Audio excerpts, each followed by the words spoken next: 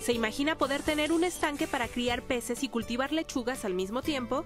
Con la acuaponia esto es posible. La acuaponia es un sistema de producción integral que utiliza dos, eh, dos fases, una fase acuática y la producción de plantas para consumo humano. Este sistema funciona a partir de la recirculación del agua desde el estanque, la cual sube con ayuda de una bomba, de forma que el riego de las plantas es constante además de que permite aprovechar los desechos de los peces. No hay necesidad de, ponerles este, nutrientes a tus plantas como fertilizantes químicos y los nutrientes son prácticamente eh, todos los desechos de los, de los peces. Los desechos de esos peces se transforman por unos procesos microbianos en nutrientes que la planta absorbe y eso lo hace 100% orgánico porque lo único que hacemos es alimentar a los peces. Una de las ventajas de esta técnica es el aprovechamiento de espacios, ya que el sistema hortícola puede instalarse alrededor o sobre el estanque, en el cual es posible criar cualquier especie de agua dulce. Aquí lo que tenemos es este,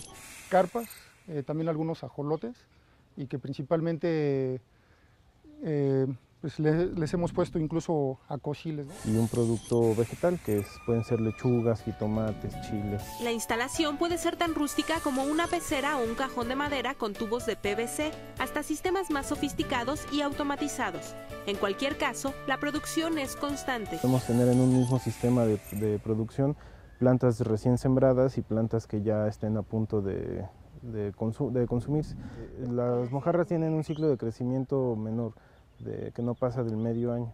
Y en un cajón de este tamaño, que son aproximadamente 500 litros, podemos tener 400 o 500 mojarras cada medio año. Para México al día, Liliana Sotelo.